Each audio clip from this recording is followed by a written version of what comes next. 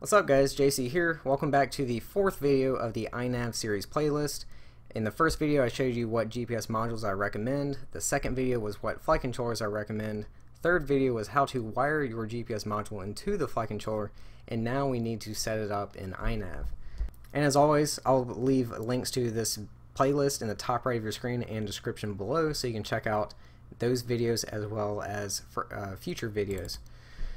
So going into iNav, First, you need to flash iNav firmware if you haven't done that yet.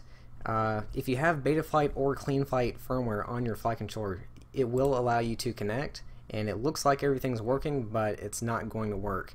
iNav uses its own firmware. So uh, now that you have new iNav firmware, uh, look up here Maybe your flight controller does not have a built-in magnetometer. Maybe you are seeing this, maybe you aren't. Doesn't matter. I'm going to take you into the CLI to make sure that you have the right, uh, well, show you how to get it working. If your flight controller does have a magnetometer built in, but you're not sure if iNav is picking up on that one or the one built into your GPS module, then I will show you how to check to make sure and change it if you need to. I will also show you how to get your barometer working if you do have a built-in barometer but it's not lighting up and first we're going to talk about getting GPS up and running. So let's go to ports and because in the last video I uh, wired my GPS module into UART number 2 I want to come over here under UART 2 and turn on GPS. If you placed yours on a different UART port then make sure you turn it on for that UART port as far as the baud rate, you don't you can just leave this at 38,400 because what you don't see is uh, in the CLI it's actually set to automatic so it will automatically find the baud rate you need. Uh, so we'll just leave that there, save and reboot.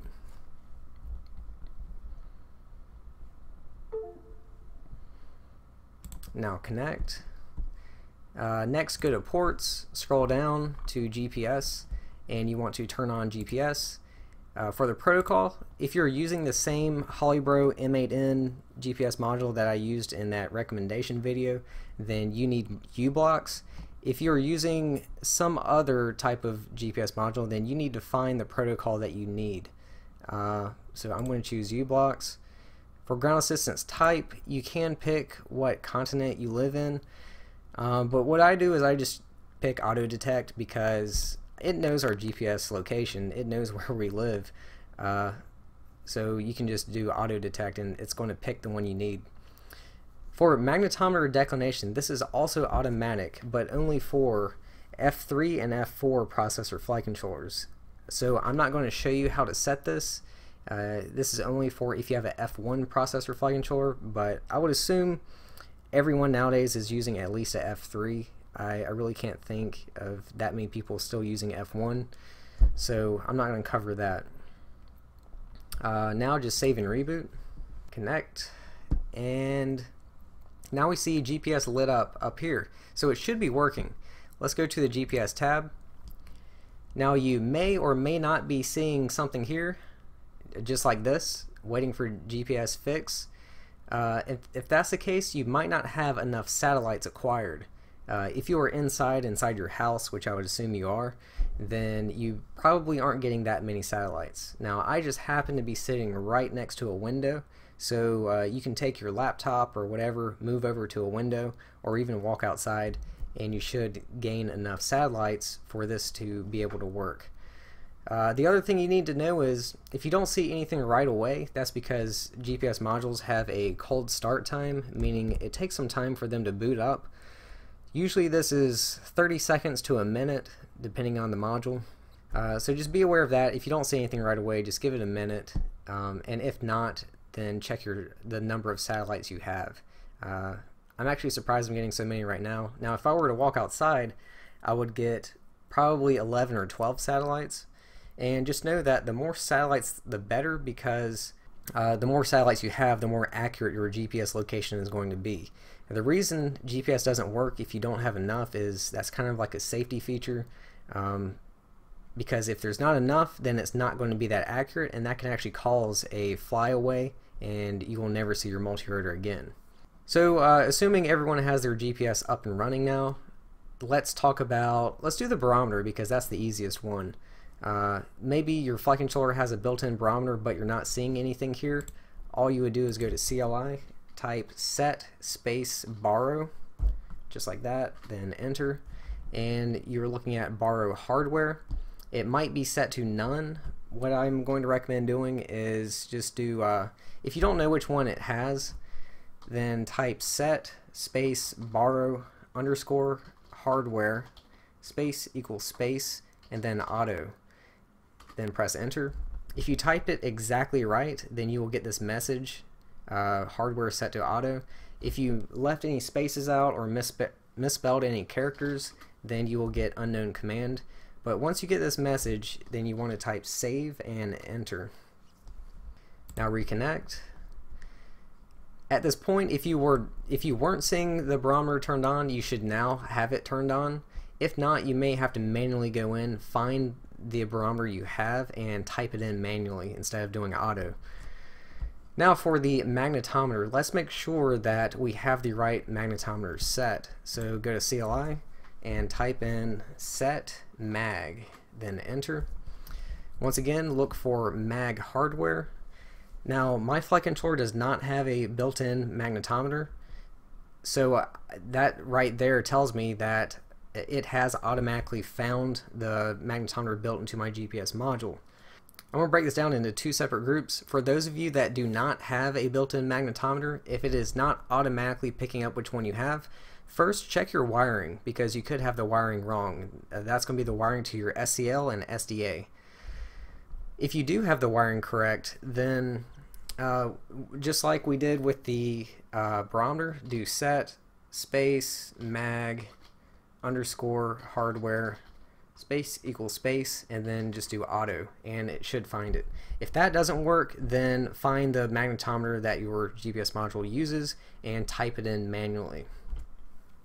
For those of you that have a magnetometer built in uh, and you're not sure which one iNav is picking up on, either the flight controller one or the GPS module one. You will have to look at the directions or something for your GPS module and find uh, exactly which one it uses. So you guys will have it a little bit tougher and you'll have to do a little bit of searching. And then at that point you would manually type in which one it is.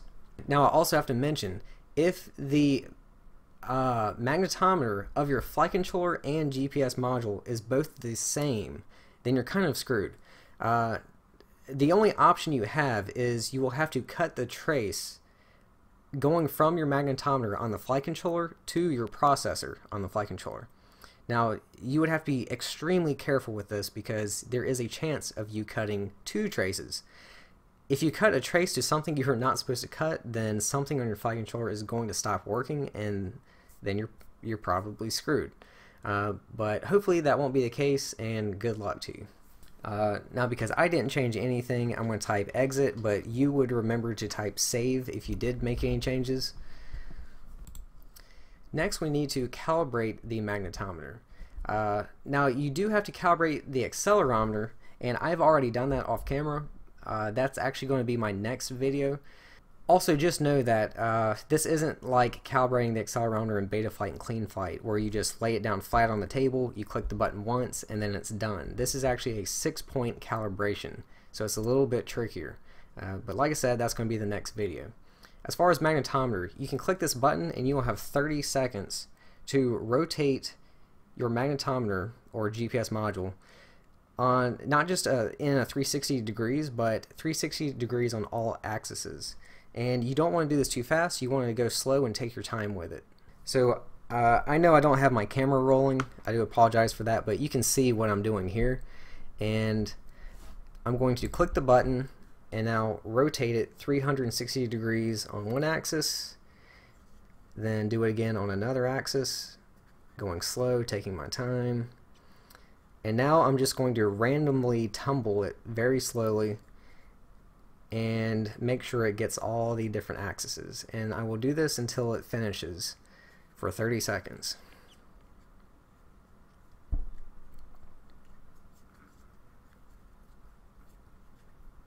Okay, once it's done, it will tell you it's finished and it's calibrated. Now to check it, to make sure, uh, what you want to do is go to CLI, type in set mag, enter, and what you're looking for is the mag 0 X, Y, and Z.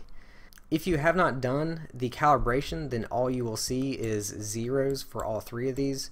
Um, if you did calibrate it and you're still seeing all threes, then you probably didn't do it correct, or you did it too fast, or you didn't hit all the axes or something. Um, but it's pretty hard to screw up. So once you see that, then you're good. Now you can move your magnetometer or GPS module around, but it's not. this isn't like a, a real-time view, so uh, just keep that in mind. Now I'm going to type exit. That's going to do it for this video, guys. Like I said, uh, check out the next video where I show you how to calibrate the accelerometer. It will be a very short video, and I will see you there.